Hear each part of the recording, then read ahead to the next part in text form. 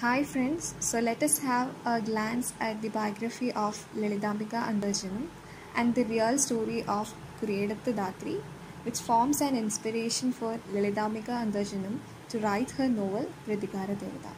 So without much awaiting, let us start. Lalithambika Antharjanam, a writer, a social reformer, she was born on March 30, 1909 at Punalur. Her notable works are Agni Sakshi, Atma Kadakuru Amugam. Atma Kadakuru Amugam is her autobiographical work. She got many awards, which include Kendra Sahitya Academy Award, Kerala Sahitya Academy Award for her novel Agni Sakshi in 1977, and she also got uh, Kerala Sahitya Academy Fellowship. Her spouse name is Narayanan Nambudiri and she has seven children and she was died on February 6, 1987 at the age of 77 at Kottayam. When considering about her childhood and family, her father was Kottavattati Ilathu Damodaran Nambudiri and mother Changarambilli Manakkal Aryadevi Andarjana. She belongs to a landholding Brahmin conservative family and she got only little formal education.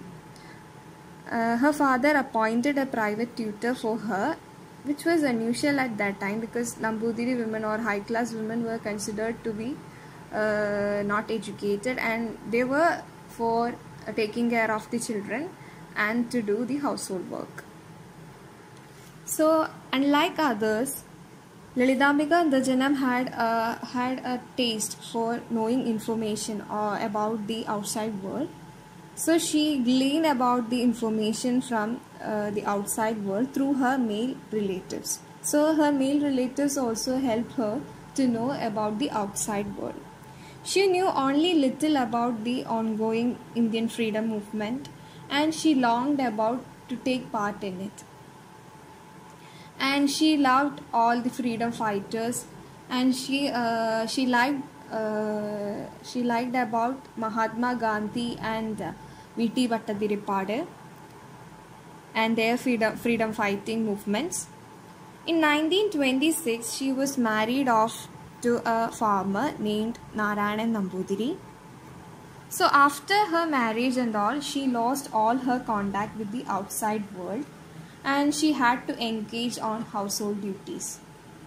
So she began to think about uh, her fellow women like her spending their whole life in the four corners of house. So she decides to raise her voice for uh, others who are imprisoned in the society. At first it seems to be a big task for her as it uh, as it had a, uh, a constant exposure uh, to these writing because she need to take care of her baby and uh, do the household work and she had constant exposure to the smoke uh, in house uh, while doing these works and the inadequate lighting for while writing this. So it uh, so it gradually uh, makes her pain in her eyes. So she would whenever it gets pain in her eyes so she would write it um, while closing her eyes so these fr frustrations and degradations of her fellow caste sisters moved her to exposure her writing uh, about the plight of her women, her women society. So the novel uh, Agni Sakshi or the fire being witness is her uh, famous novel which which gave her a breakthrough and the novel was uh, later uh, adapted to film with the same title in 1997 uh, by Agni Sakshi itself. And the motive of her works is uh, exposure and destruction of hypocrisy and violence and injustice against the women, uh, especially in the Nambudiri society. Given above her some of her works and she started her career by uh, writing an article in Sharada magazine about Mahatma Gandhi and which is known as uh, Abhinava Parthasarathi, which was published in 1923. And she, uh, she wrote many uh, short stories and poetic collection, story collection, and all.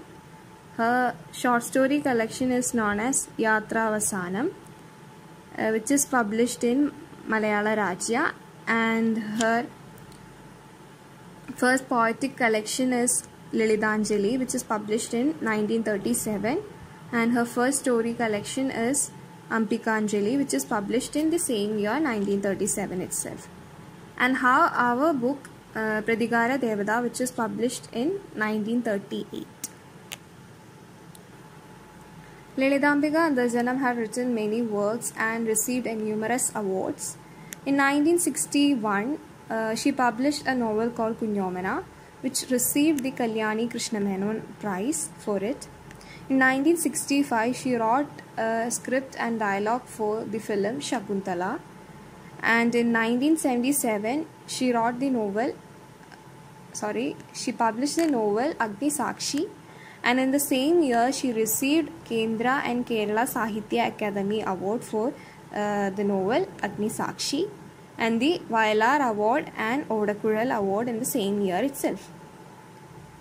Agni Sakshi is considered to be her bestseller and which gave her her a breakthrough in her career and which is later adapted to a film with the same title Agni Sakshi in the year 1997. Sita Mudal Satyavadi Vare is another book which received Kerala Sahitya Academy Award for criticism. When discussing about the book which is prescribed for us, Pradikara Devada or the Goddess of the Revenge, which was published in 1938. The novel portrays the life of Thathri Kuti, who questions the moral policing in the society that inevitably tries to suppress and exploit women in different ways. Thathri Kuti, Lalithambika Antharjanam's heroine in her story, Pradigara Devada, was a real life character who once had gone through an ordeal of Smarta Vijara, a community trial way back in 1905.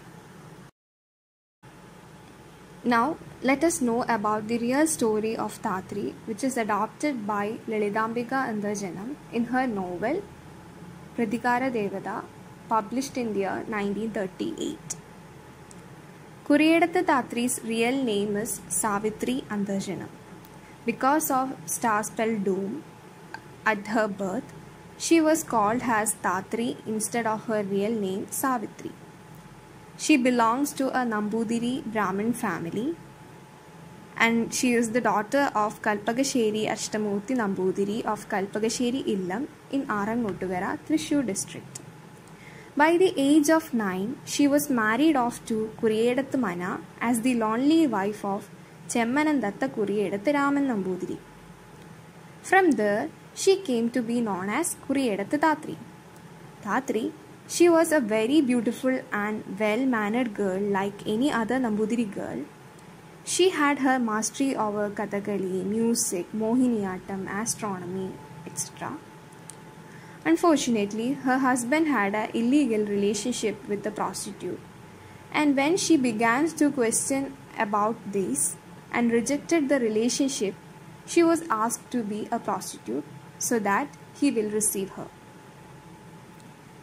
So she left the house and went back to her house.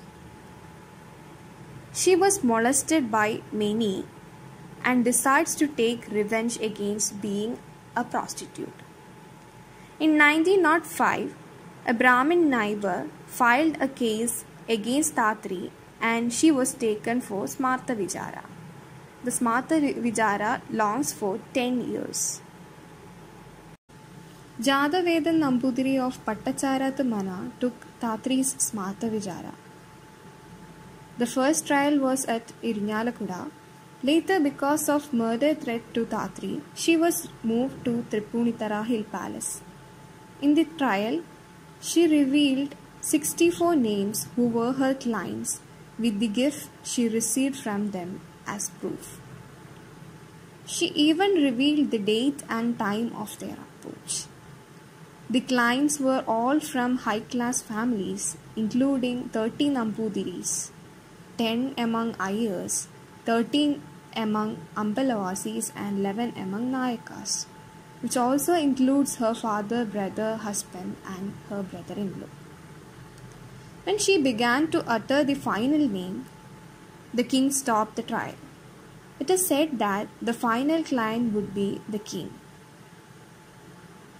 That's why he stopped the trial. Even though she revealed the names with proof, no one were ready to accept their deeds except one saying he wasn't a major one. Thathri firmly said that if she is said to be exiled, it would be with the sinners because she didn't break the law alone. So Thathri, along with the sinners, were exiled. It includes famous Kathakali artist Kavangal Shankara Panikar, Vedic scholar V.K. Narayana etc. Later, Kalpakasheri Mana was also fired by people. It is believed that the Devi Vigraha uh, in Katyani Kshetra was burst out and near to which a plant begins to grow. The plant is being worshipped till today. It is said that this happened because of Thathri's curse. Later, the king had taken Thathri to Chalakudi because of murder threats for her. Inspired from the story of Thathri, many books and films were formed, which includes Thathri in 2005, Parinayam, Vanaprastham, Brishta, Agni Sakshi, and in 2012, a drama was staged. I hope now all of you got a clear idea of the real story of Thathri and about the author Lalitabika Antarshan. Thank you.